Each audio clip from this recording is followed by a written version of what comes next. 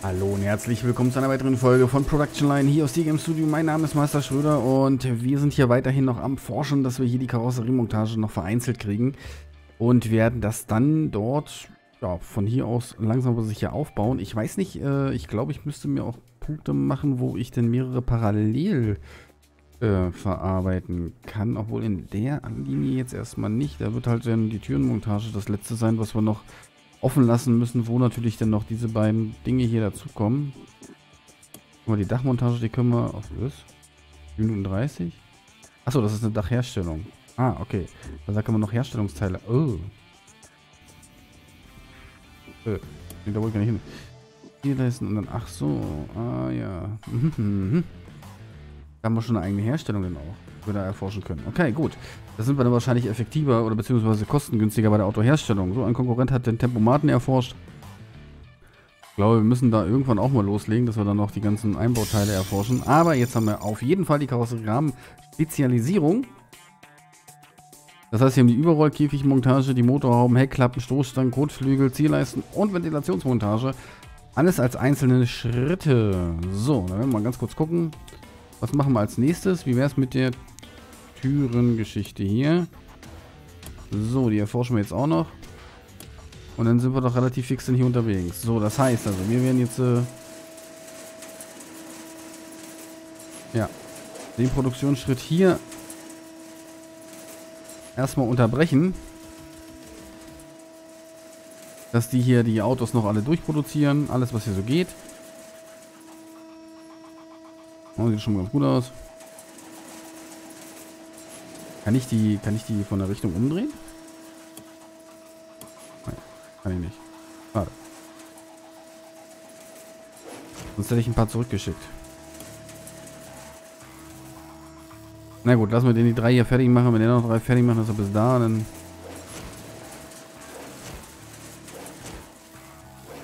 So.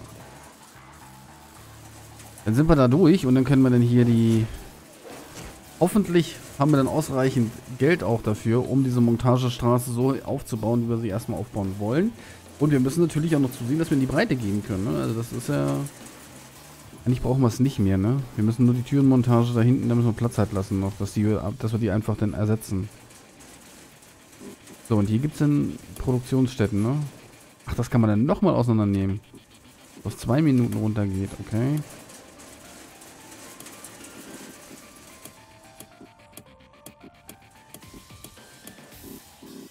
Okay, so, gut. Jetzt haben wir hier den Punkt erreicht, an dem wir hier alles... Ah, die Hälfte kriegt man wieder. So, jetzt haben wir 500.000, mit denen wir jetzt hier klarkommen müssen. Und wir müssen daran denken, dass wir bei der Kotflügelmontage Platz lassen. Weil die kann man nämlich noch auseinandernehmen. So. Gut, also. Dass wir da einfach Platz lassen, dass wir diesen rausnehmen und wieder noch einsetzen können. Ich denke mal, die Teile, die werden ja dann von der Größe her nicht anders sein. Hm, ob der Spiegelmontage ist auch einzeln. Okay, das sind dann drei Einzelschritte. Dann gucken wir, äh, achso, das ist Türenmontage, ja.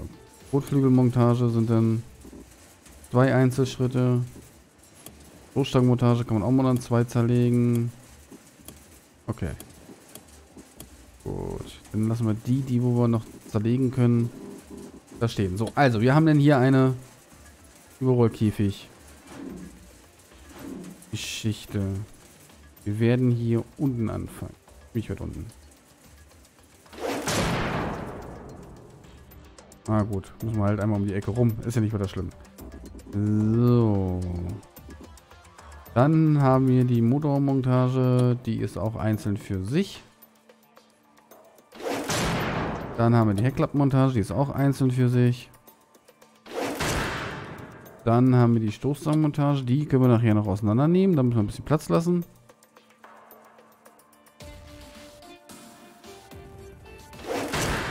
So, da können wir nämlich zwei draus machen. Da einen hin, da einen hin. Gut. Dann haben wir die Kotflügelmontage. Die haben wir gerade gebaut, ne? Ne, Stoßstangen. Die Leistenmontage haben wir dann. Dann haben wir die Kotflügelmontage. Da können wir nachher auch zwei draus machen. Also ein bisschen Platz. So. Ich hoffe, dass das ausreicht. Dass es nicht zu groß wird. Gut. Dann haben wir die Ventilationsmontage.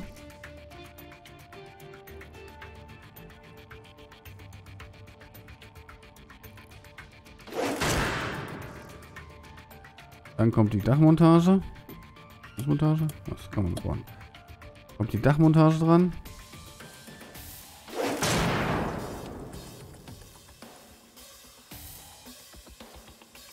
Und dann kommt die Türenmontage dran.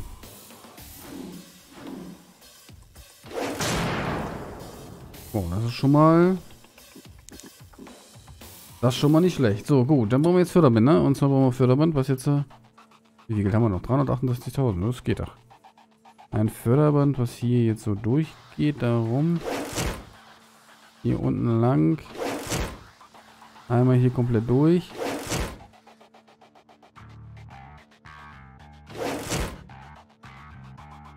Da oben rum.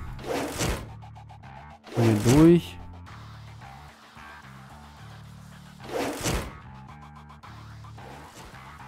Und sich da anschließt.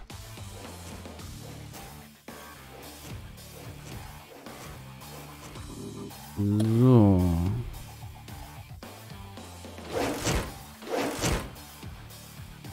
So. Interessant, jetzt habe ich das so rumgezogen, aber es hat trotzdem die Pfeile noch da. Ah, na gut, okay. Vielleicht entscheidet er das automatisch, äh, wie die Pfeile gehen. Gut, okay, also.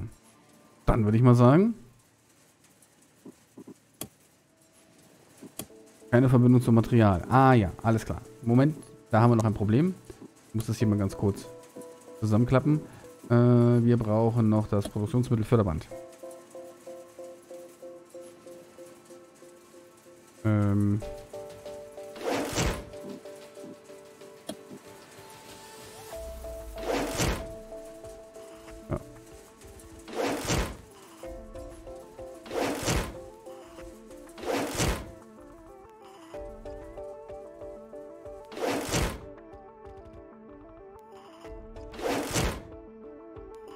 So, jetzt müsste alles verbunden sein.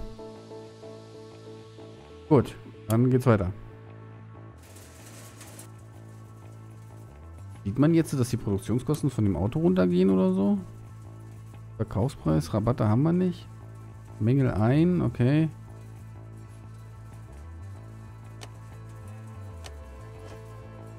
Schlechtes Preis-Leistungsverhältnis, 33%, falsche Karosseriestil. Ja, ja. Yes. Er ist weg. Ähm, sehe ich denn jetzt? Momentchen hier. Wie so ein Auto. Einfaches Auto, 16.000 und 14. Das hätte man sich mal merken sollen, ob das jetzt billiger geworden ist oder nicht. Aber auf jeden Fall haben wir hier jetzt schon mal die Karosserieproduktion gut auseinandergezogen. Müsste man theoretisch die Lackiererei ein bisschen auseinanderziehen. Damit wir das auf eine ähnliche, einen ähnlichen Takt kriegen. Aber momentan ist, glaube ich, Ey, auch zu langsam, um den immer kontinuierlich zu füttern, ne? Ja. Er braucht insgesamt zwölf Minuten, ja, ja, ja, ja. Müssen wir das auch noch auseinanderklamüsern, aber das kriegen wir hin. So. Was forschen wir jetzt eigentlich? Was war äh, gefragt? Spezialisierung. Alles klar. Und dann müssen wir noch so Stangen und... Oh, das ist aber, kostet aber viele Punkte. Das lassen wir dann erstmal so. Aber Türen, das wollte ich, nicht, das wollte ich unbedingt noch auseinandernehmen. Damit wir da, ähm, noch die Zeit etwas einkürzen. Und dann machen wir unsere Karosserie. Ich weiß nicht, ob es sinnvoll ist, dass ich neue Features erforsche. Und wie weit das sinnvoll ist. Obwohl hier die 15 Tage, wenn man diese Challenge da hat, ich denke, das könnte man ganz gut hinkriegen, ne, dieses Szenario. Gut, aber wir probieren hier erstmal. Das ist ja sozusagen jetzt der erste Run hier. Wir wollen mal gucken, wie das Spiel funktioniert. Und bis jetzt gefällt es mir eigentlich ganz gut. Ja, und hier ist natürlich der große Stau. Okay. Neue Kredite sind verfügbar. Konkurrenz hat automatisch einen Scheinwischer erforscht. Okay. Wie ist denn eigentlich unsere Produktionsstatistik momentan? Nee, das, wo sehe ich denn das wieder? Warte mal, das hier hier, ne? Momentan können wir drei produzieren pro Stunde. Ja, kommt so etwa hin? Ne, müsste eigentlich mehr sein mittlerweile, ne? So, da haben wir dann die nächsten Karosserieteile. Dann erwähnen wir das nächste Forschungsprojekt und da würde ich sagen, gehen wir auf...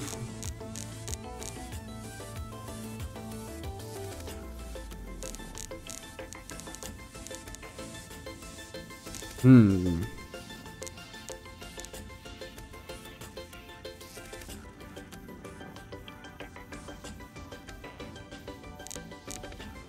Frage.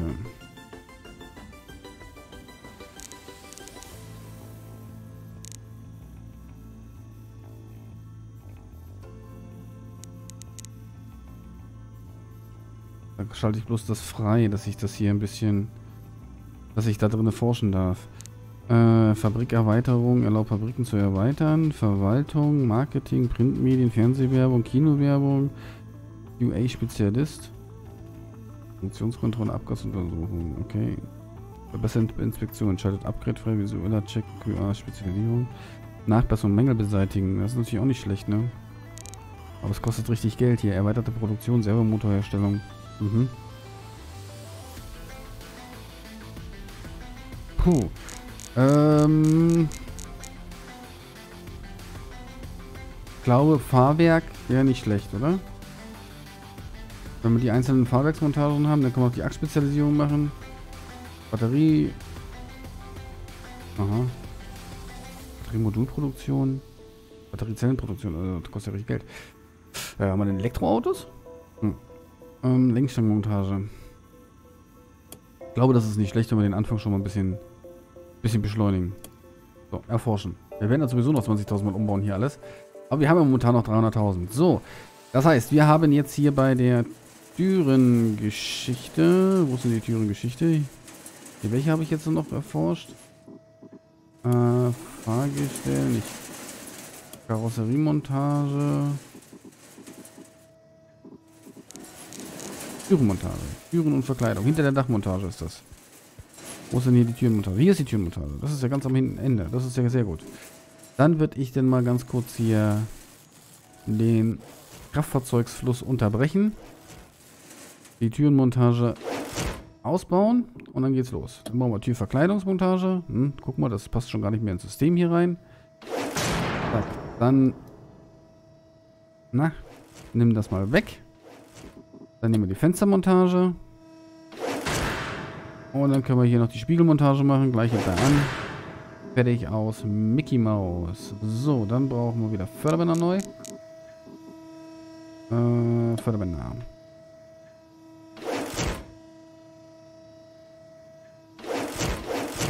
So, dann kann das da durchgehen und dann brauchen wir hier noch Produktionsmittelförderband wieder.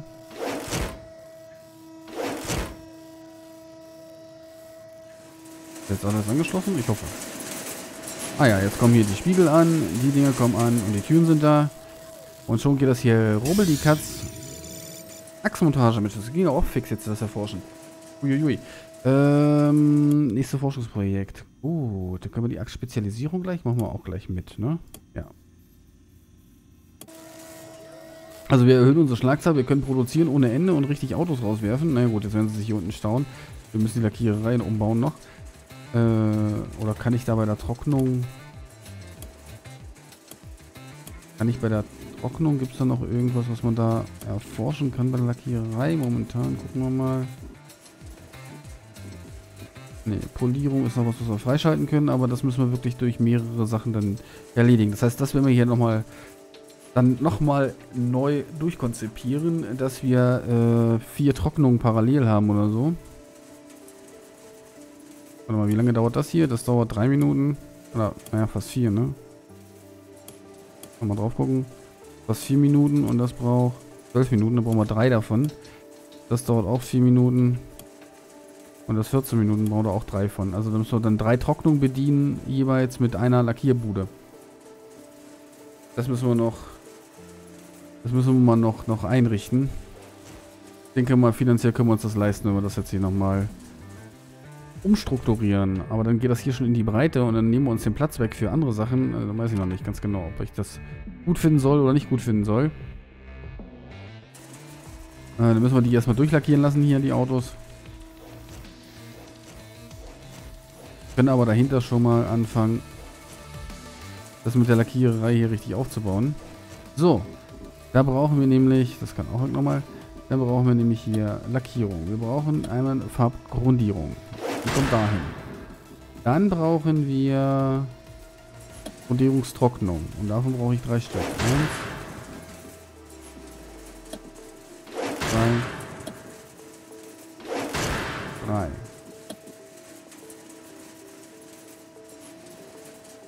Ähm. Ah ja.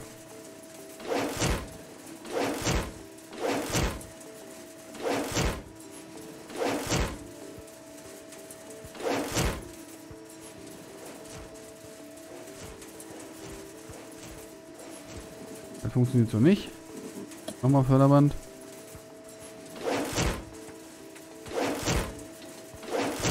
So. So funktioniert das. Dann brauchen wir hier nach eine finale Lackierung.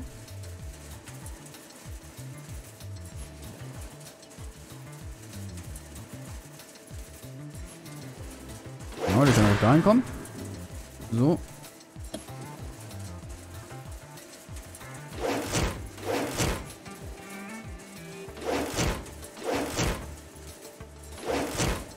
So. Und dann brauchen wir da wieder drei Trocknungen dahinter.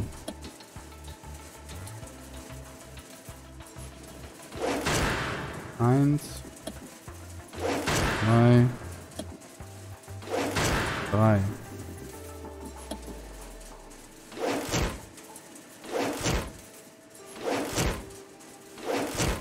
So.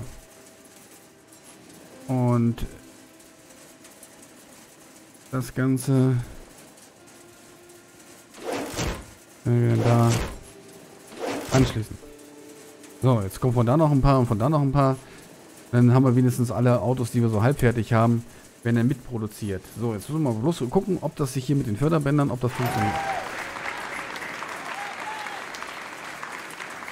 Startup-Unternehmen. Okay, die Produktion läuft und das erst, die ersten Autos sind vom Band gelaufen, aber das war es noch nicht, oder? Voraussetzung, stelle 100 Autos in einem einzigen Spiel her. Na, das ist doch schon mal schön. Dann haben wir wieder ein Achievement, womit wir aufhören können. Achso, jetzt habe ich mir mal alle angezeigt. Ähm, das ist doch richtig gut. Wir haben die Produktionsstraße, äh, achso, ja, ja, ja, ja. Die Produktionsstraße erweitert und können jetzt hier gleichzeitig mehrere Autos trocknen. Das sollte sich so einigermaßen dann vom Timing her ausgehen, dass wir dann ja eigentlich genügend Zeit haben, die Autos durchzuproduzieren. Und der geht denn da rein. Ja, das passt so alles. Das geht auch ganz gut. Doch, ja. Ja, dann müssen wir hier hinten natürlich jetzt äh, irgendwie noch uns erweitern. Und ich glaube, wir müssen Erweiterungen kaufen, damit wir da machen, weitermachen können. Also momentan haben wir sehr viel Wert auf das hier gelegt, dass wir das schön auseinanderziehen. Müssen aber auch dafür sorgen, also das kommt ja dann eh weg, dass die Dinger hier auseinandergezogen werden und sich das hier so rumschlängelt und dass wir dann die Endkontrolle natürlich auch noch irgendwo mit unterbekommen. Die Elektronik und die ganzen anderen Sachen. So. Vorwiegend wollen wir aber uns natürlich erstmal wegen der Forschung auf auf dieses Achsgelumpe hier vorbereiten und wollen hier vorne den, den, den Einstieg natürlich noch beschleunigen. Gut, okay. Wir haben weitere Ziele für die nächsten Folgen. Keine Verbindung zum Lagerbestand. Oh. Moment, das müssen wir noch schnell beheben. Das geht so natürlich nicht. Das Lagersystem muss natürlich verbunden sein. So. Sonst gibt es nur Probleme. Sonst kann er nicht lackieren. Das wäre natürlich schlecht. Fundierung hat geklappt. Achso, ja, die war ja noch angeschlossen von vorher. Alles klar, weil die direkt daneben stand. Ungenügend Ressourcen. Naja, gut, das mit den Ressourcen, da müssen wir hier wahrscheinlich nochmal einen Importer dazu nehmen. Damit da was geht. So, die Bestellung an, dem, an den Teilen hier, die ist ja doch relativ groß. Oh, der importiert gerade nichts. Naja, gut, weil der wahrscheinlich immer näher dran ist als hier. Gut, okay. Aber wir wollen die Folge beenden. Das war eine Folge Production Line hier aus Game Studio. Mein Name ist Master Schröder. Und hier sehen wir schon das Problem. Irgendwie werden die nicht nach da abtransportiert. Ach, wie finde ich denn das wieder? Moment, das müssen wir auch noch... Alles klar. Du willst es so haben, dann kriegst du es so.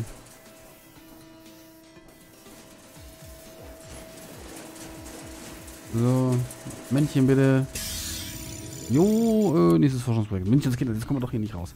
Ähm, Moment, Moment, Moment. Das müssen wir noch äh, schnell mal die Motorspezialisierung will ich jetzt reinhauen. So. Wenn das auch vereinzeln kann. Äh, habe ich doch gerade gemacht. Ich will gerne ein Förderband machen und zwar eins, das von hier kommt, nach da geht und dann hier so durchläuft. Und dann hier reingeht oder hier reingeht oder hier reingeht. So. Das können wir hier natürlich jetzt nicht mehr gewährleisten. Dafür haben wir hier zu wenig Platz gelassen, aber da scheint das irgendwie zu funktionieren. Okay, gut. So, da kommt es aus der Trocknung raus, da wird es lackiert. Ja. Und jetzt ist natürlich... Achso.